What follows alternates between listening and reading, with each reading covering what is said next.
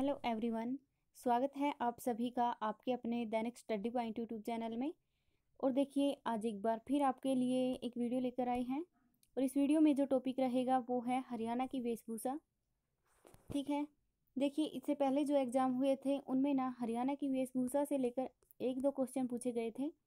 और वो सभी पेपर में आए थे। एक क्वेश्चन तो ज़रूर आया था। तो मुझे लगा कि ये टॉपिक इम्पोर्टेंट है, इसलिए मैं इस टॉपिक को लेकर आई हूँ। और देखिए, सभी के पास ना एक जैसी बुक नहीं होती, इसलिए मैं सीधे बुक से कराती हूँ। ठीक है? और देखिए, इससे पहले जो पेपर हुए हैं, उनकी वीडियो बना रखी है हमने और ऑफिशियल की के साथ भी बना रखी है। यदि आपने अभी तक उन वीडियो को नहीं देखा है तो उनको ज़रूर देखना। और ये वीडियो आपको अच्छी लगे तो इसे लाइक करना, शेयर करना। और अगर आप पहली बार हमारे चैनल पर आए हैं तो चैनल को सब्सक्राइब ज़रूर कर लेना और बेल आइकन का बटन भी दबा लेना। ताकि हम कोई भी वीडियो डालें तो उसका नोटिफिकेशन सबसे पहले आप ही के पास आए। तो चलिए शुरू करते हैं आज की इस वीडियो को और देखते हैं हरियाणा की कौन कौन सी वेशभूषा है। तो देखिए, पहले आता है पुरुष वेशभूषा और इसमें है कुर्ता और कमीज। तो कुर्ते को स्थानीय भाषा में कुर्ता भी कहा जाता है और यह मुख्यतः कॉलर की कमीज़ होती है। कुर्ते और कमीज़ को धोती या पायजामे के साथ पहना जाता है। तो देखिए, जो कुर्ता है या फिर कमीज़ है, इसे स्थानीय भाषा में कुर्ता कहा जाता है। और ये जो कुर्ता है, ये पजामे या फिर धोती के साथ पहना जाता है। इसके बाद है धोती। तो देखिए, जो धोती है, ये पुरुषों का परिधान है और ये सफ़ेद रंग की होती है। इसके बाद है पगड़ी। तो यह कम चौड़ाई का ऐसा धारण लंबा कपड़ा होता है, जो मारवाड़ी तरीके से सिर पर लपेटा जाता है। तो देखिए, जो पगड़ी है, ये सिर पर पहनी जाती है और पगड़ी को हरियाणवी भाषा में पागड़ी कहा जाता है या फिर साफा भी कहा जाता है। और खंडवा भी पगड़ी का ही एक प्रकार है तो ये भी आपको ध्यान रखना है। और जो राजपूती ढंग से बनी पगड़ी होती है, उसे पाग कहा जाता है तो ये भी आपको ध्यान रखना है। इसके बाद है गुलीबंद तो देखिए जो गुलीबंद है, यह एक लंबा पटका नुमा गर्म कपड़ा या ऊन का बना होता है, जो गर्दन पर लपेटा जाता है। तो देखिए जो गुलीबंद है, ये गर्दन पर पहना जाता है। और यह सर्दियों का महत्वपूर्ण वस्त्र है हरियाणा में मफलर को ही गुलीबंद या गुलबंद कहा जाता है। तो देखिए, हरियाणा में जो मफलर होता है, उसी को गुलीबंद या गुलबंद कहते हैं। इसके बाद है कमल, कंबल या फिर ऊनी चादर या दुसाला। तो देखिए, जो कंबल है, यह ऊनी चादर जैसा अत्यधिक मोटा वस्त्र होता है और यह सर्दियों में बड़े बूढ़ों या विशेषतः कृषक वर्ग द्वारा ओढ़ा जाता है, जिसे स्थानीय भाषा में दुसाला कहा जाता है। तो देखिए, जो कंबल है, उसे ही दुसाला कहा जाता है स्थानीय भाषा में। ये भी आपको ध्यान रखना है। इसके बाद है खेस। तो देखिए खेस है, इसे पुरुषों द्वारा सर्दियों में ओढ़ा जाता है और ये मोटी चादर वाला होता है। इसके बाद है दोहर। तो देखिए ये इम्पोर्टेंट है। जो दोहर है, यह बारीक सूत की मज़बूत चादर होती है, जिसे दोहरे धागे से मिलाकर बुना जाता है और इसे धोर भी कहा जाता है और ये सर्दियों में ओढ़ा जाता है। इसके बाद है मुरैठा। तो ये देखो आप, ये एक पीछे एग्ज़ाम हुआ था लोअर डिविजनल क्लर्क का। उसमें ये क्वेश्चन आया था कि मुरैठा क्या है? कहाँ पर पहना जाता है? तो देखिए, जो मुरैठा है, ये एक प्रकार की टोपी है और हरियाणा में पहनी जाने वाली एक प्रकार की टोपी है। तो मुरैठा सिर पर पहना जाता है, ये ही एक टोपी का भी प्रकार है। इसके बाद है मिर्जई तो यह रुई भरकर बनाई गई कमरी या जैकेट है जो सर्दी में पहनी जाती है।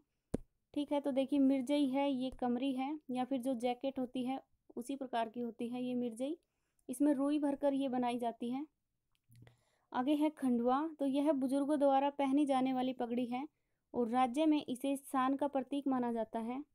तो ये आप ध्यान से देखो, जो खंडवा है, ये शान का प्रतीक माना जाता है और इसे बुज़ुर्ग लोग पहनते हैं।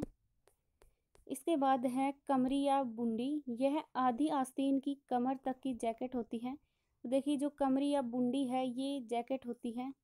इसके बाद है रुई की कमरी तो रुई भरकर बनाई गई कमरी, जिसे मिर्जई कहते हैं। इसके बाद है बंदर टोपी तो कान व सिर व गले को सर्दी से बचाने के लिए ये पहनी जाती है। इसे बंदर टोपी कहा जाता है। इसके बाद है अंगरखा तो देखिए दरबारी ढंग की पहनी जाने वाला परिधान, ये कमर पर पहना जाता है। जो अंगरखा है, ये दरबारी ढंग का परिधान है, जिसे कमर पर पहनते हैं। इसके बाद है पगड़ियाँ तो देखिए पगड़ियाँ हैं जिसके कई प्रकार हैं। एक है साफा, जिसे सैनिक रूप वाली पगड़ी कहा जाता है। और मारवाड़ी जो पगड़ी है, उसकी स्टाइल को पागड़ी कहा जाता है। जो राजपूती ढंग की पागड़ी है, उसे पाग कहा जाता है। और ये एक तरह की पागड़ी है, इसे खंडवा कहा जाता है। खंडवा एक तरह की पागड़ी ही है। जो टोपी है, इसे गांधी टोपी कहा जाता है। देखिए, इसके बाद वे पीछे थे, वे थे पुरुष वेशभूषा और अब आती है स्त्री वेशभूषा। तो इसमें आता है आंगी। ये सूती कपड़े से पहले, सूती कपड़े से यह वस्त्र कमीज या सूट के नीचे पहना जाता है। तो देखिए, ये एक अंदरूनी कपड़ा है। इसके बाद है ओढ़ना। इसे ओढ़नी भी कहा जाता है और यह महिलाओं द्वारा सिर पर धारण किया जाने वाला वस्त्र है। तो जो ओढ़ना है, ये सिर पर ओढ़ा जाता है। इसके बाद है कैरी। तो देखिए, जो कैरी है, ये नीले खद्दर या फिर डफ पर लाल टीकों वाले कपड़े का घाघरा, इसे कैरी कहते हैं। इसके बाद है कंग। तो ये देखो, ये इम्पोर्टेंट है, क्योंकि ये कई बार पूछा जा चुका है। तो जो कंग है, यह गहरे लाल रंग का ओढ़ना होता है, और ये कंग है, ये भी एक प्रकार की ओढ़नी ही है, जो गहरे लाल रंग की होती है, और ये भी सिर पर पहना जाता है। इसके बाद है चूंदड़ी। देखिए, जो चूंदड़ी है, यह लाल पल्लों और बीच में नीली रंगाई वाली पतली मलमल की ओढ़नी होती है, जिसे चूंदड़ी बोलते हैं। इसके बाद है कोटी। यह बाजू या बिना बाजू की जैकेट होती है। तो देखिए, इसके बाजू नहीं होती, ये बिना बाजू की होती है। इसके बाद है घुमटी। तो देखो, यहाँ से भी, ये भी पूछा गया था, एक क्वेश्चन के ऑप्शन में था कि गुमटी क्या है। तो यह सूती रंगी कपड़े पर रेशमी बूंदियों से कढ़ी हुई हो, ओढ़नी होती है। जिसे घुमटी बोलते हैं तो ये भी ओढ़नी का ही एक रूप है, ये भी सिर पर पहनी जाती है। इसके बाद है छ्यामा तो देखिए जो छ्यामा है, यह पीले पाट की आकर्षक कसादीकारी से युक्त ओढ़नी है और ये भी सिर पर ओढ़ी जाती है। इसके बाद है डिमाच तो देखिए जो डिमाच है, यह रेशमी ओढ़नी है, जो विवाह में दुल्हन को चढ़ाई जाती है। तो ये आप ध्यान से देखो, देखिए जो डिमाच है, ये विशेष रूप से विवाह में दुल्हन को चढ़ाई जाती है। और ये एक रेशमी ओढ़नी है और ये भी एक ओढ़नी है जो सिर पर ओढ़ी जाती है। इसके बाद है फुलकारी। तो देखिए जो फुलकारी है, ये डिब्बी नुमा फुलकारियों की कढ़ाई वाली ओढ़नी को फुलकारी कहा जाता है, जिसमें सघन कढ़ाई होती है और यह मुख्यतः सोल बनाने की एक कला है। तो देखिए अगर ये पूछा जाए कि सोल बनाने की कला कौन सी है तो वो है फुलकारी और इसमें सघन कढ़ाई होती है, गहरी कढ़ाई होती है। और यह भी सिर पर ओढ़ी जाती है। ये भी ओढ़नी का ही एक प्रकार है, फुलकारी। इसके बाद है चाँद तारा घाघरा। तो देखिए, जो चाँद तारा घाघरा है, यह खद्दर कपड़े का बना होता है और इस पर दूज के चाँद व तारे की छपाई की जाती है। तो चाँद तारा ये एक घाघरे का प्रकार है। इसके बाद है लह। देखिए, यह नीले रंग का घाघरा होता है, जिस पर पीले व नीले रंग के धागों की कढ़ाई की जाती है। तो देखिए, जो लह नामक घाघरा है इस पर पीले और नीले रंग की कढ़ाई की जाती है और ये एक घाघरे का प्रकार है। इसके बाद है लहरिया। तो देखिए, जो लहरिया है, यह बंधेज पद्धति की रंगाई से तैयार किया गया एक ओढ़ना है।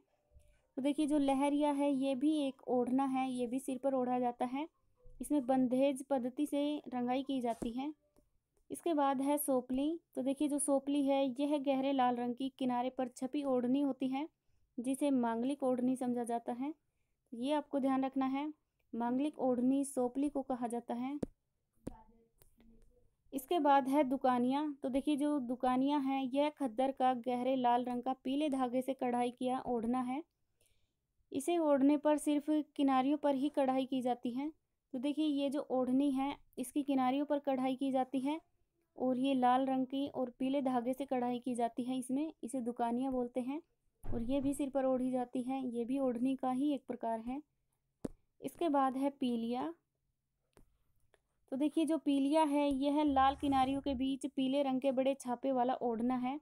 यह पुत्र के जन्म पर पीहर से बेटी को भेजा जाता है, जिसे ओढ़कर वह कुआ पूजन करती है।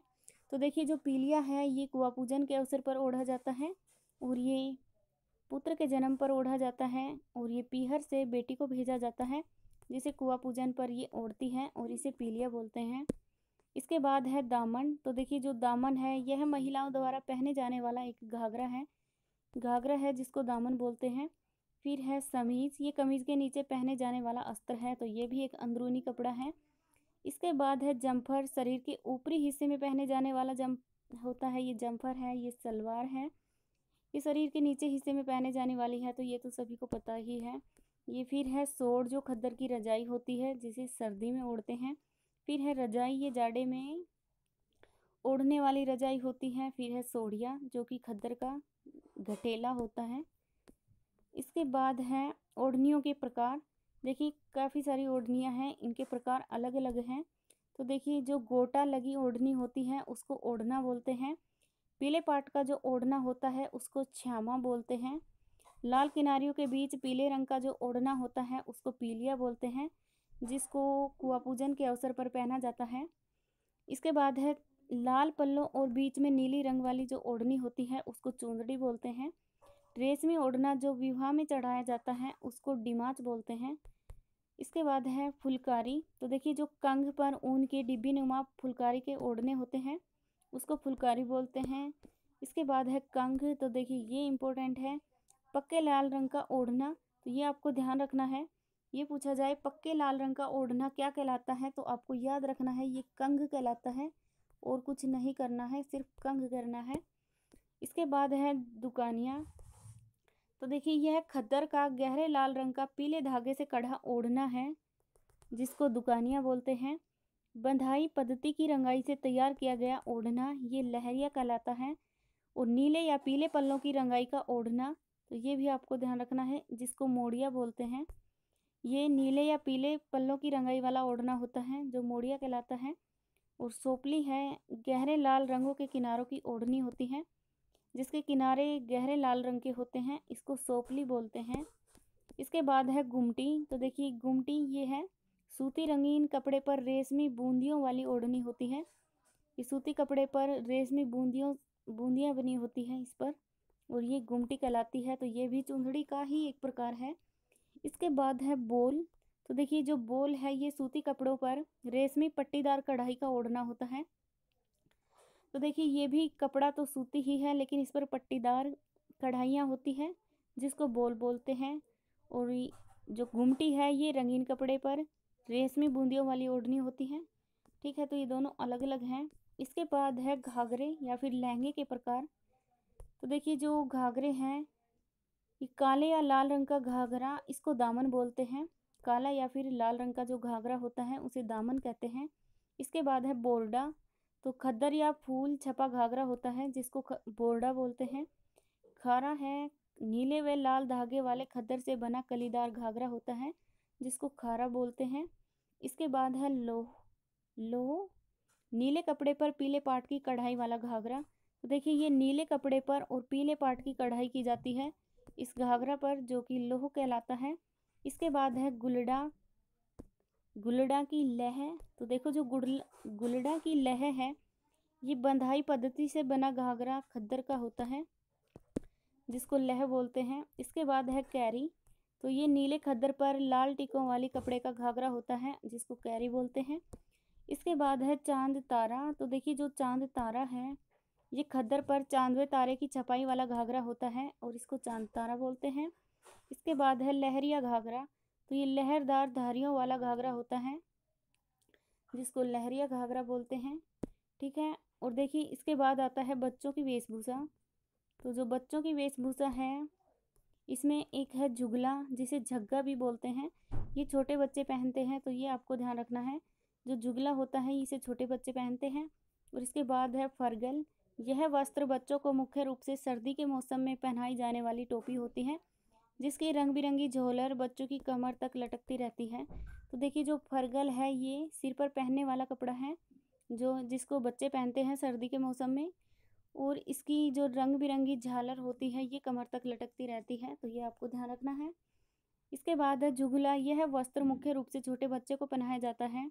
इसे झगला भी कहते हैं। यह पीलिए में दी जाती है। तो देखिए, जो झुगला है, इसे छोटे बच्चे पहनते हैं और ये पीलिए में दिया जाता है।